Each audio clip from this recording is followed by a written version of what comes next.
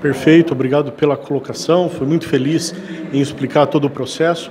O que acontece é que nós temos hoje uma reivindicação de toda a cidade para ter suas ruas iluminadas, principalmente a periferia, como é a Carlos Borges, a Gastão Vidigal e outras que já tiveram o privilégio de serem iluminadas com lâmpada de LED. Então o prefeito pegou esse problema, contratou a FIP, né, que é indiscutível, uma das melhores empresas, né, instituições que podem fazer esse tipo de avaliação, e ela fez uma proposta para 25 anos.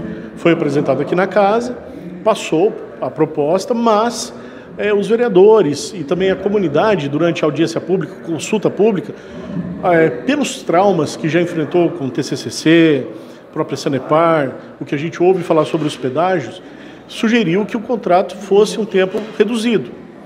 Então, assim que o prefeito teve o projeto aqui aprovado, ele pediu que fosse feita uma nova avaliação para que o contrato fosse de menor período.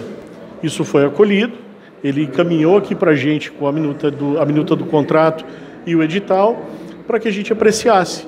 E hoje nós tivemos os votos favoráveis a essa proposta. Qual é o montante que hoje, de acordo com esse contrato aqui, quem resolver, vamos dizer assim, comprar a briga lá na, na, na bolsa e dar um lance, vai ter que trazer para poder investir. É, a troca do parque todo fica em 98 milhões de reais, quase 100 milhões de reais. Investimento tem que ser feito imediatamente, né, para trocar tudo no prazo de um ano e oito meses.